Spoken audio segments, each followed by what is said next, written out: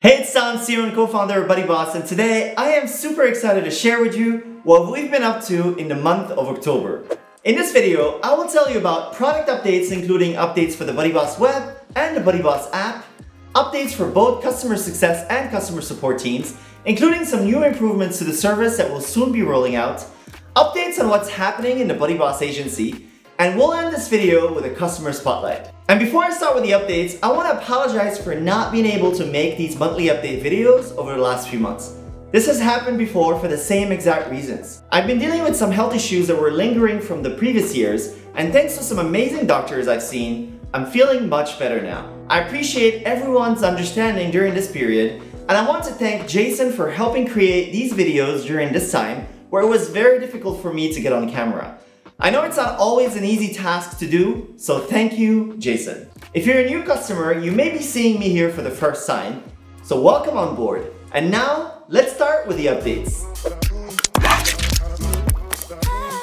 We just released a massive overhaul of the private messaging component, which was an important step to make before the public release of the live messaging feature.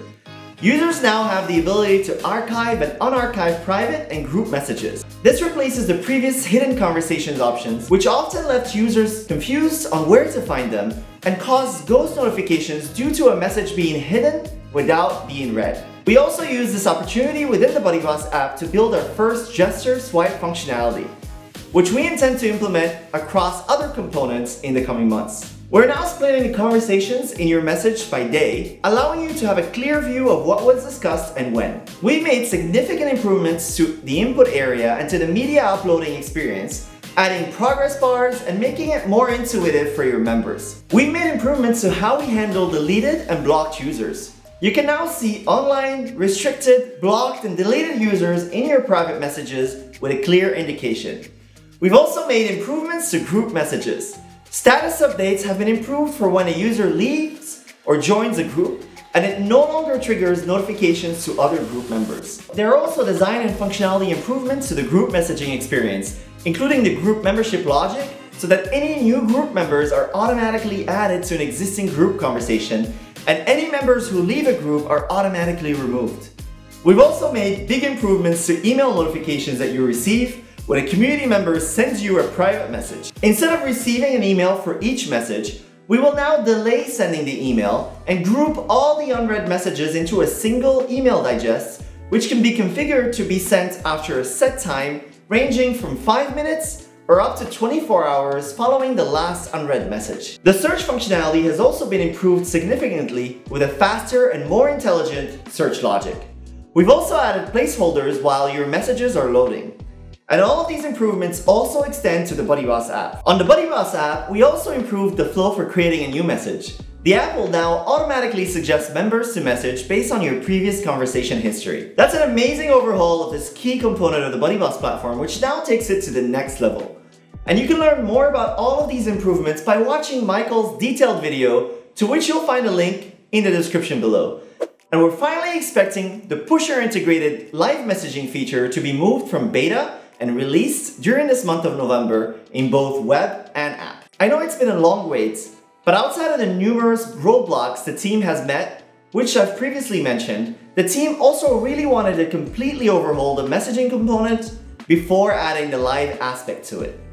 We've also now released the new notification preferences, which was previously accessible through BuddyBoss Labs and made it the default notification component. This is another inherited component that we recently revamped with our own improved API. With this new update, your members can manage their notification preferences for all devices on one page. You can enable the specific notification types you wish to use in your community. For each notification type, you can select the default preferences for your members. The contents of each notification type has been improved including showing excerpts of messages, posts, and other content types. We introduced a simple method for creating custom notification types, and we've improved how notifications work with private messaging by allowing you to hide message notifications from a member's list of notifications while still sending them an email on-screen and push notifications, preventing members from receiving on-screen notifications for new messages while they're currently on the messaging screen. So if you're looking at your inbox and someone sends you a message, it doesn't trigger on-screen notifications since you're already there. With all of these improvements, we're continuing to not only add new exciting features to BuddyBoss products, we're also continuing to modernize the features inherited from BuddyPress. Our customer success team continues to assist BuddyBoss app customers with onboarding and success calls as needed. Tom Jutla from customer success also continues to hold office hours on a daily basis. And you can find a link for how to attend the office hours in the description below. The customer support team has resolved over 3,000 tickets and are doing a great job keeping up with all of the new tickets coming in. The team is also preparing to roll out live chat support early next year. We will initially launch the live chat for our tier 1 level support, then we will look into the possibility of rolling out live chat for our tier 2 support level. Although the second step is still under consideration and we haven't yet finalized all the details. And Edeline, one of our top performers in the customer support team, is also one of the most positive people I've met in the Philippines, has now taken the role of customer support manager. Edeline has over 12 years of experience in customer service and has been working with us since the launch of our Philippines operations in early 2019. And I know that while many of you are super happy with BuddyBoss customer support, some of you are not so happy and I totally understand why it can sometimes be a frustrating experience. I very much appreciate all your feedback, good and bad, and I want you to know that we are listening very carefully and working very hard to make the adjustments necessary for a better customer experience. Now, although it feels like customer support can be slow at solving some of the tickets, I can't really blame the support team for that. This is really a product team issue. The support team has actually been doing an amazing job and has drastically improved under Graham's leadership. And all the efforts made in creating better processes, improving documentation, reorganizing the team, migrating to Freshdesk, and further training the team are now paying off. And now that the support team is functioning very well, I'm working with Graham to make key improvements to product delivery. Over the last year, we've completely transformed the product team and how it operates, and we've made significant improvements. And while most of the changes we've done have helped the team increase productivity and improve quality across the board, we realize that it often doesn't seem like that to you, our users. And the reason is that we overlooked a couple areas, namely our approach to releasing new features and our process for knocking out small bugs and improvements. The approach the product team has taken over the last year was to combine a bunch of smaller improvements into a larger scale project that typically ended up growing bigger and bigger and ended up causing multiple delays and frustration.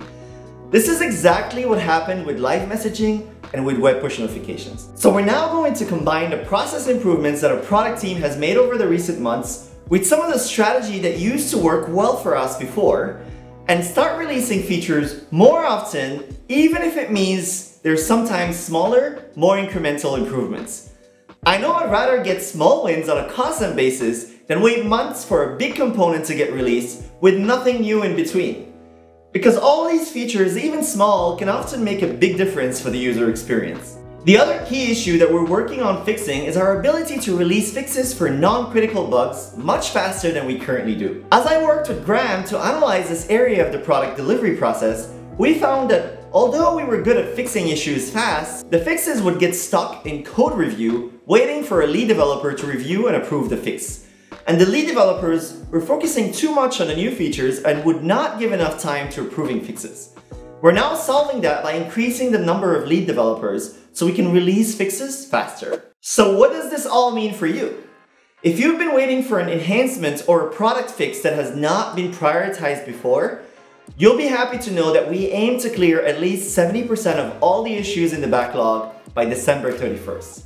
And by Q1 of next year, we expect to become much faster at resolving issues from the day they're reported to the day they're released. We know that this particular issue is what's causing the most amount of frustration with customer support and we can't wait to get it fully resolved. We're putting an end to our large-scale feature-only approach and instead, starting early next year, we'll be releasing new features and improvements much more frequently. In the next month, we'll be releasing the group notifications feature.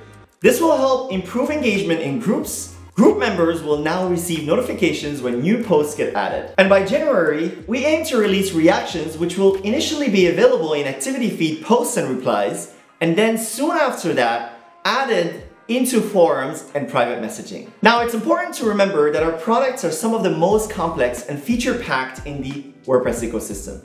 And the fact that our platform is open source and that we integrate with so many other third-party software, providing more flexibility than any other comparable software, keeping up with all the feature requests, improvements, bug fixes, managing priorities, and ensuring the team is always working efficiently is not an easy task. But we strongly believe that the improvements we've made earlier this year and the improvements we're making now will help the product team excel at handling all of these responsibilities. We may not be perfect, and we may not always live up to everyone's expectations. But one thing for sure is that at Buddy Boss, we will always have your best interests at heart. And we will continue to strive to create innovative products and make ongoing improvements to Buddy Boss products so we can give you the tools you need to help you in your journey to success. And there are other exciting projects currently in the works that have not been announced but will be announced in the upcoming update videos. So that's it for product updates and customer support updates. I am super excited for the major improvements we're making in both of these areas. And now let's talk about the Buddy Boss agency. The agency recently helped the very popular Happy Pear launch their brand new Buddy Boss powered mobile app. This is a self-care platform that helps you towards a healthier mind and body through food, movement, and community. The Happy Pear, with a community of over 1 million people, has been around for 15 years now, with 60 products, 7 online courses, 5 cookbooks, a farm, and a roastery, all designed to help you live healthier. At Buddy Boss, we understand that every new project is unique. Every customer has their own idea, a project with specific requirements that address the specific needs of their audience. And thanks to our highly customizable and extendable software, all of these ideas can be made possible. And our agency is here to help support you in that journey. So if you need help with your project, you can go to buddyboss.com slash agency and reach out to our agency team. Our account executives will then schedule a discovery and consultation session with you to help understand your project and work on providing you with the best solution. We've also been hiring new members into the marketing team and we're now working on putting more effort into creating educational content for our audience across all channels.